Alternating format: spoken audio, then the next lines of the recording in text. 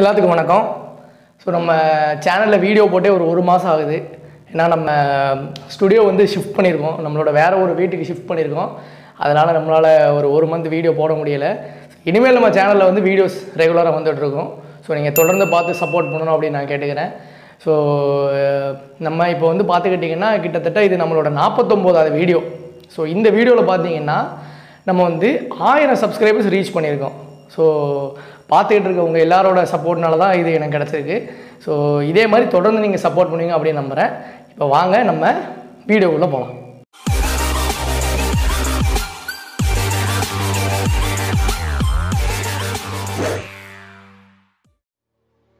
கொஞ்ச காலமாகவே பார்த்துக்கிட்டிங்கன்னா இந்த நீட் எக்ஸாம்னால் தற்கொலை பண்ணக்கூடிய மாணவர்களோட சதவீதம் வந்து அதிகரிச்சுக்கிட்டே வருது. ஸோ உண்மையிலே என்ன தான் பிரச்சனை அப்படிங்கிறத நம்ம வந்து அனலைஸ் பண்ணி பார்க்க வேண்டியதாக இருக்குது ஸோ ஒரு ஆஸ்பிரண்ட்டாவோ சரி சரி ஆஸ்பிரண்ட் அப்படிங்கிறதெல்லாம் விட்டுருங்க. நார்மலாகவே ஒரு சிட்டிசனாக சரி நீங்கள் வந்து இந்த விஷயத்தை வந்து அனலைஸ் பண்ணணும்.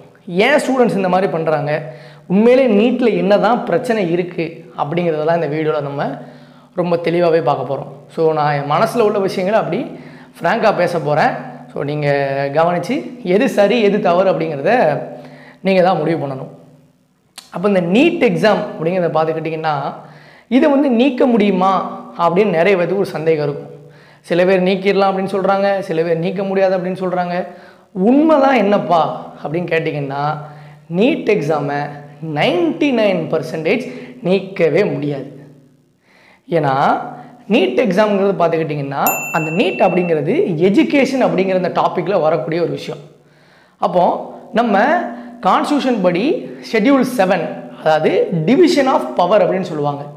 இப்போ சென்ட்ரல் கவர்மெண்ட் மேலே ரூல் பண்ணுறாங்க இங்கே நம்ம தமிழ்நாட்டில் ஸ்டேட் கவர்மெண்ட் ரூல் பண்ணுறாங்க அப்போது ஒவ்வொரு விஷயத்துக்கும் இந்தந்த சப்ஜெக்ட்ஸ்லாம் இவங்க தான் முடிவெடுக்கணும். இந்தந்த சப்ஜெக்ட்ஸ்லாம் சென்ட்ரல் கவர்மெண்ட் தான் முடிவெடுக்கணும் அப்படின்னு இருக்கும்.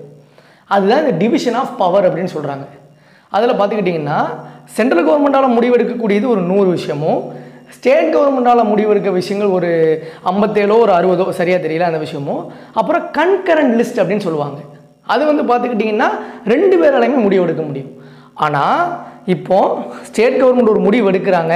அதுக்கு சென்ட்ரல் கவர்மெண்ட் அப்ஜெக்ஷன் சொல்கிறாங்க அப்படின்னா சென்ட்ரல் கவர்மெண்ட் எடுக்கக்கூடிய முடிவு தான் ஓங்கி இருக்கும். அப்போ இந்த நீட் விவகாரத்தில் வந்து பார்த்துக்கிட்டிங்கன்னா சென்ட்ரல் கவர்மெண்ட் இதை நடத்தணும் அப்படின்னு சொன்னாங்கன்னா கண்டிப்பாக நடத்தியே ஆகணும். இன்னும் கொஞ்சம் பொலிட்டிக்கல் சயின்ஸ் ரிலேட்டட் நம்ம பார்த்தோம் அப்படின்னா ஆர்டிக்கல் த்ரீ செவன்ட்டி ஒன் அப்படின்னு ஒரு விஷயம் கொடுத்துருக்காங்க. இந்த ஆர்டிக்கல் த்ரீ செவன்ட்டி ஒன் என்ன அப்படின்னா ஸ்பெஷல் ப்ரொவிஷன்ஸ் ஃபார் ஸ்டேட் அதாவது ஒவ்வொரு மாநிலத்துக்கும் கொடுக்கக்கூடிய ஒரு ஸ்பெஷலான ஒரு அந்தஸ்து. எஜுகேஷன் ரிலேட்டடாக அட்மினிஸ்ட்ரேஷன் ரிலேட்டடாக அந்த ஸ்டேட் முடிவெடுத்துக்கலாம் அப்படின்னு கொடுக்கக்கூடிய ஒரு விஷயம் தான் இந்த ஆர்டிக்கல் த்ரீ செவன்ட்டி ஒன் ஆனால் இந்த த்ரீ செவன்ட்டி ஒனில் ஒரு விஷயம் என்னென்னா அந்த பில் வந்து கையெழுத்து வாங்குறதுக்கு பிரசிடெண்ட்டாக தான் போகணும். அப்போ எப்படி பார்த்தாலும் சென்ட்ரல் கவர்மெண்ட்டோட ஒரு இணங்குதல் இல்லாமல் நீட் எக்ஸாமை கேன்சல் பண்ணவே முடியாது. இந்த விஷயத்த பார்க்குற ஒவ்வொருத்தரும் மைண்டில் போட்டுக்கோங்க.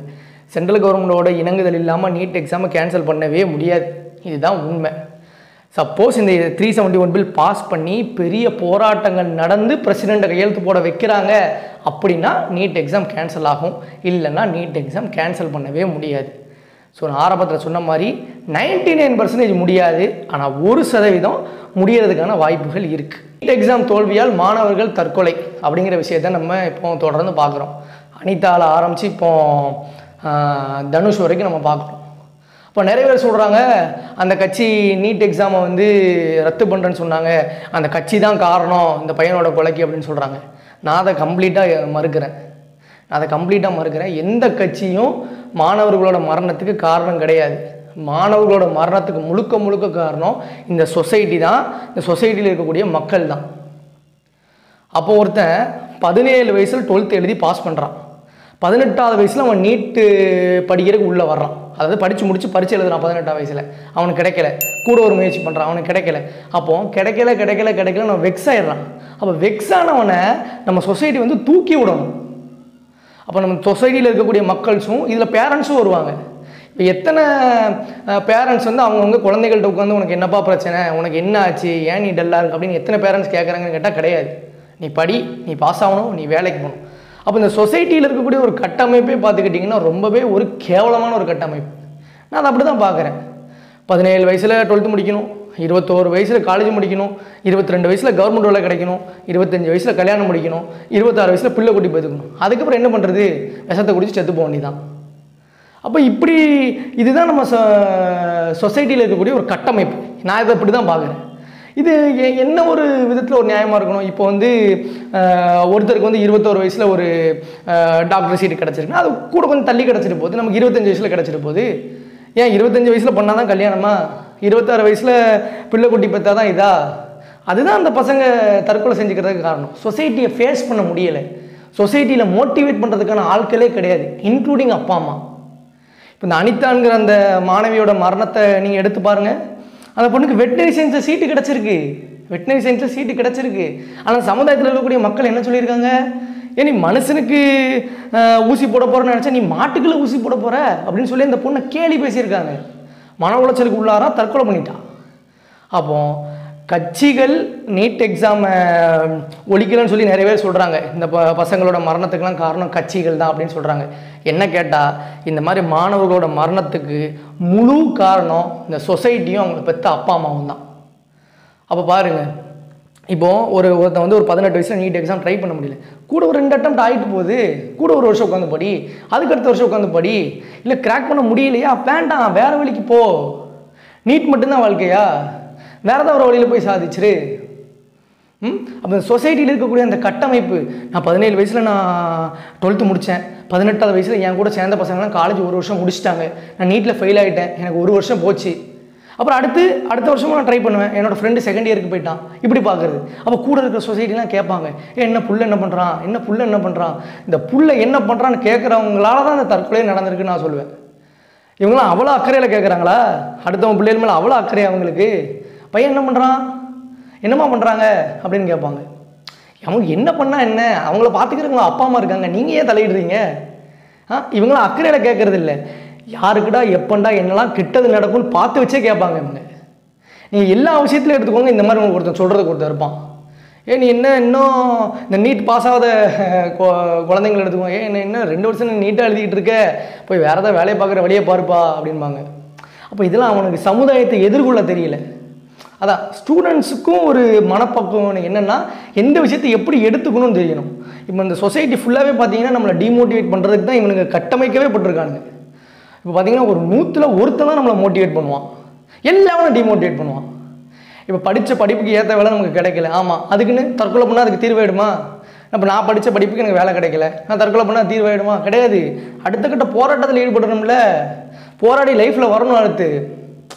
இப்போ நூறு சதவீதத்துக்கு எண்பது சதவீதமான இளைஞர்கள் வந்து பார்த்துக்கிட்டிங்கன்னா வாழ்க்கை மேலே அக்கறையாக தான் இருக்காங்க. ஏதாவது பண்ணி லைஃப்பில் முன்னுக்கு வந்துடணும் இந்த வேலை பண்ணலாமா அந்த வேலை பண்ணலாமா இந்த படிப்பு படிக்கலாமா அந்த படிப்பு படிக்கலாமான்னு எழுபது சதவீதமான பேர் எண்பது சதவீதமான லைஃப்பில் சீரியஸாக தான் இருக்காங்க. ஆனால் இந்த சீரியஸாக இருக்கிறவனே இந்த சொசைட்டிக்கு எடுக்குதுங்கிறது தான் என்னோட கருத்து. இப்போது அது சில சமயம் வீட்டில் இருக்கிற ஆட்களே சொல்லுவாங்க நீ என்ன இந்த வேலைக்கு போகிற உன் சொந்தக்கார பையன் அந்த வேலைக்கு போயிட்டான் உன் அந்த அத்தை பையன் அந்த வேலைக்கு போயிட்டான் மாமா பையன் எந்த வேலைக்கு போயிட்டான் மாமா பையன் வளர்ந்த விதமும் நம்ம வளர்ந்த விதமும் ஒன்றா நம்ம எப்போவுமே அப்பா அம்மாவை கம்பேர் பண்ணுறது ஆனால் அப்பா அம்மா நிறைய இடங்களில் நம்மளை கம்பேர் பண்ணுறாங்க அதுவும் இந்த மாதிரியான மாணவர்கள் தற்கொலைக்கு ஒரு காரணமாக இருக்குது என்னோட வாழ்க்கையில் நடந்த ஒரு மோட்டிவேட்டிங்கான ஒரு விஷயத்தை நான் ஷேர் பண்ணிக்கணும்னு ஆசைப்பட்றேன். இப்போ நான் வந்து பார்த்துக்கிட்டிங்கன்னா நைன்த்து ஸ்டாண்டர்டில் வந்து ஃபெயில் நைன்த்து ஸ்டாண்டர்ட் மேத்தமெட்டிக்ஸ் வந்து ஃபெயில் இப்போ அதே மேத்தமெட்டிக்ஸ் தான் நமக்கு சோறு போடுது அது வேறு கதை அதை விட்டுடலாம். அப்போது நான் நைன்த் ஸ்டாண்டர்ட் படிக்கும்போது என்னோடய ஆனுவல் எக்ஸாமில் வெறும் இருபத்தேழு மார்க் எடுத்து நான் ஃபெயில் ஆகிட்டேன் ஆக்சுவலாக முப்பத்தஞ்சு எடுத்தால் பாஸு ஆனுவல் எக்ஸாம் முப்பத்தஞ்சு எடுத்தால் பாஸு அந்த டீச்சர் எனக்கு நினச்சா போட்டிருக்கலாம். ஆனால் அவங்க எனக்கு போடலை. என் மேலே அவ்வளோ அன்பு போல அவங்களுக்கு. அதனால் அவங்க போடலை. அப்போது முப்பத்தஞ்சு மார்க் எடுத்தால் பாஸு நான் இருபத்தேழு எடுத்து ஃபெயில் ஆகிடுறேன் அப்போது ஃபெயில் ஆனால் ரீடெஸ்ட் வச்சு தான் பாஸ் பண்ணுவாங்க. ரீடெஸ்ட் எழுதுனா நீ பாஸ் ஆகலாம் இல்லைன்னா பாஸ் பண்ணக்கூடாது. அந்த மாதிரியான ஒரு சுச்சுவேஷனில் நான் இருக்கிறேன். அப்போ நான் அந்த மிஸ்ட்டை சொல்கிறேன் மிஸ் தயவு செஞ்சு எங்கள் அப்பா அம்மாட்ட சொல்லிடாதீங்க. எங்கள் அப்பா அம்மா ரொம்ப வருத்தப்படுவாங்க. அப்படிங்கிறேன். அப்போ அதுக்கு இந்த மிஸ் வந்து அதை கேட்காம எங்கள் அப்பா அம்மாட்ட சொல்லிட்டாங்க.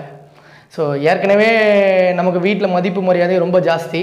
இதில் இந்த ஃபெயில் ஆகிட்டேங்கிற சம்பவத்தை கேட்டோன்னே மதிப்பு மரியாதையும் ரொம்ப கூடிருச்சு. அப்போது நான் எவ்வளோ கெஞ்சி பார்க்குறேன் அந்த மிஸ் என்ன ஏன்னா அவங்க நினச்ச அந்த லிஸ்ட்லேருந்து என்ன தூக்கலாம் அவங்க. நீ அடுத்து ஒரு முயற்சி கொடுப்பா நீ டென்த்தில் நல்லா படிப்பா அப்படின்னு நினச்சி அவங்க என்ன கூட்டு போகலாம் அடுத்ததுக்கு. ஆனால் அவங்க அதை செய்யலை. அவங்களுக்கு செய்யறதுக்கு அந்த ஒரு மனசு இல்லை. இப்போ நான் ரீடெஸ்ட் எழுதினேன் ரீடெஸ்ட்டில் ஜஸ்ட் பாஸ் ஆகி டென்த்து ஸ்டாண்டர்ட் அதே ஸ்கூலில் படிக்கிறேன். அதே மேக்ஸ் டீச்சர் இருக்காங்க. பார்த்துக்கிட்டிங்கன்னா அந்த வருஷம் ஃபுல்லாகவே அவங்க வந்து இன்னும் வந்து போன வருஷம் நடந்ததை மறந்துடாத நைன்த்து ஸ்டாண்டர்ட் நடந்த மறந்துடாத இப்படியே தான் அந்த வருஷம் ஃபுல்லாக சொல்லிட்டு இருந்தாங்க. அப்போ இப்போ எங்கள் அம்மா பேரண்ட்ஸ் டீச்சர் மீட்டிங்கு போகும்போது அதே தான் சொல்லுவாங்க. பையனை பழச ஞாபகம் வச்சு படிக்க சொல்லுங்கள் அப்போ பாருங்கள் எவ்வளோ டிமோட்டிவேஷன் பாருங்கள் இப்போ உன்னால் முடியும். நீ ஏதோ ஃபெயில் ஆகிட்டேன் நல்ல படிப்பா அப்படின்னு சொல்லியிருக்கலாம். ஆனால் அவங்க அதை சொல்லலை. பழச இந்த மாதிரி நிறைய கார்னர் பண்ணுற விஷயங்கள் நிறைய ஈடுபடுவாங்க. அப்போ பார்த்துக்கிட்டிங்கன்னா டென்த்து வருது குவார்ட்டர்லி வருது. நான் சுமாராக பண்ணுறேன் ஹாஃப் அலி எக்ஸாம் வருது. ஓரளவுக்கு நான் நல்லா பண்ணுறேன் அதுக்கப்புறம் உட்காந்து இன்னும் நல்ல சின்சியராக படிக்கிறேன். நல்ல சின்சியராக படித்து என்னோட டென்த் மேத்தமெட்டிக்ஸில் நான் ஹண்ட்ரட் அவுட் ஆஃப் ஹண்ட்ரட் வாங்குறேன். அப்போது இது எல்லாத்துக்குமே ஒரு பெரிய ஷாக் ஏன்னா நான் நைன்த்தில் மேக்ஸில் ஃபெயில் ஆனப்போ இவன் ஃபெயில் ஆகிட்டான்னு சொல்லிட்டு வீட்டில் வருத்தப்படலை.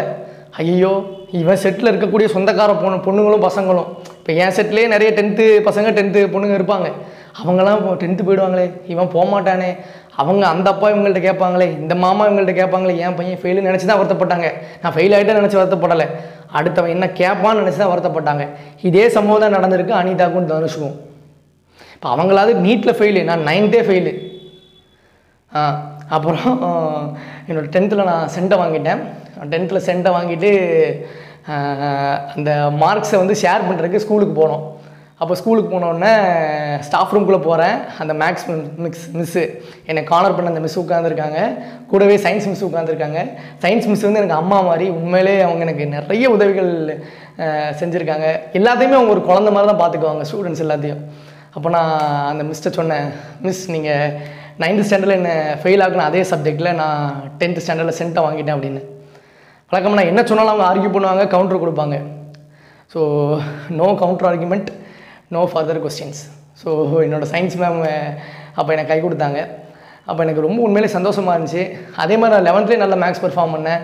டுவெல்த்லேயும் நல்ல மேக்ஸ் பெர்ஃபார்ம் பண்ணேன். நான் மேக்ஸ் நல்லா பெர்ஃபார்ம் பண்ணதுனால எனக்கு நல்ல ஒரு இன்ஜினியரிங் காலேஜ் எனக்கு கிடச்சிது. இப்போது நான் படித்த மேக்ஸை தூத்துக்குடியில் நிறைய பேர்த்துக்கு சொல்லி கொடுத்துட்ருக்கேன். அப்போ பார்த்துக்கிட்டிங்கன்னா எது என்னைய கீழே தள்ளணும்னு பார்த்துச்சோ அதை எதிர்த்து சண்டை போட்டு நான் அதையே என்னோட முன்னேற்றத்துக்கு பயன்படுத்திக்கிட்டேன். அப்போ அவ்வளோ அவமானங்கள். நீங்களே யோசிச்சு பாருங்களேன். ஒரு குடும்பத்தோட தலைமூத்த பையனா நான் நைன்த்து ஃபெயில் ஆகிட்டேன் அப்படின்னா எனக்கு எவ்வளோ ஒரு ப்ரெஷர் இருந்திருக்குன்னு யோசிச்சு பாருங்கள் அந்த டென்த் ஸ்டாண்டர்ட் ஃபுல்லாக எப்போவுமே சொல்லி காமிச்சிட்டே இருப்பாங்க. நைன்த்தில் நடந்ததுங்க மனசு மனசில் வச்சுக்கோ நைன்த்தில் நடந்த மனசில் வச்சுக்கோ அப்படின்னு சொல்லி காமிச்சிட்டே இருப்பாங்க. அப்போ என்னோட அவமானத்தை நான் வெகுமானமாக மாற்றிட்டேன் இப்போ இந்த வெகுமானத்தை நான் வருமானமாக மாற்றிக்கிட்டு இருக்கேன். இதுதான் ஒவ்வொரு ஸ்டூடெண்ட்டுக்கும் நான் சொல்லக்கூடிய ஒரு பாசிட்டிவ் கோல் அதுக்காண்டி நான் பெருசாக சாதிச்சிட்டேன் அப்படிங்கிறத நான் சொல்ல வரலை. இது எப்படி என்னோட ஒரு ஹார்டான ஒரு சுச்சுவேஷனை நான் எதிர்கொண்டு முன்னாடி வந்தேன் அப்படிங்கிறத சொல்கிறேன் இதே மாதிரி தான் உங்களுக்கும். இந்த தடவை நீட்டில் ஃபெயில் ஆகிட்டோமா அடுத்த தடவை முயற்சி பண்ணுவோம். அடுத்த தடவை முடியலையா? அதுக்கு அடுத்த தடவை முயற்சி பண்ணுவோம். அதான் சுவாமி விவேகானந்தர் சொல்கிறது உன்னோட குறிக்கோளில் இருந்து நீ ஆயிரம் தடவை பின்வாங்கினாலும் பரவாயில்ல கூட ஒரு தடவை முயற்சி பண்ணி பாரு அப்படிங்கிறார். அதே தான் இங்கேயும். நீ ஆயிரம் தடவை விழுந்தாலும் பரவாயில்ல ஆயிரம் தடவை தோல்வி அடைந்தாலும் பரவாயில்ல. ஒரே ஒரு தடவை கூட முயற்சி பண்ண பாரு கண்டிப்பாக நம்மளால் சாதிக்க முடியும்.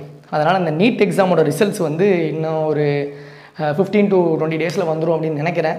ஸோ இதை பார்த்துக்கிட்டு இருக்க மாணவர்கள் பெற்றோர்கள் பெரியோர் சிறியோர் எல்லாத்துக்கும் நான் கேட்டுக்கிறது தான் ஸ்டூடெண்ட்ஸை ப்ரெஷரைஸ் பண்ணாதீங்க. ஸ்டூடெண்ட்ஸை ப்ரெஷரைஸ் பண்ணாதீங்க. சொந்தக்காரங்கள்டேருந்து ஃபோன் வந்தால் அட்டன் பண்ணாதீங்க. இப்போ நான் டென்த்து படிக்கும்போது அப்படி தான் ஒருத்தர் எனக்கு ஃபோன் போட்டார். ஃபோன் போட்டு அவர் என்ன கேட்டார்னா ஏ என்னடே நல்லா இருக்கியா? அப்படின்னாரு. ஆ நல்லா இருக்கேன் அப்படின்னேன். அப்புறம் வந்துட்டு உன்னோட நம்பர் கொஞ்சம் கூட நான் மார்க் பார்த்துக்கிறேன் அப்படிங்கிற. அவ்வளோ ஆர்வம். இவன் எப்படி மார்க் எடுக்க பார்த்துக்கங்க எப்படி இருக்கிறாங்கன்னு.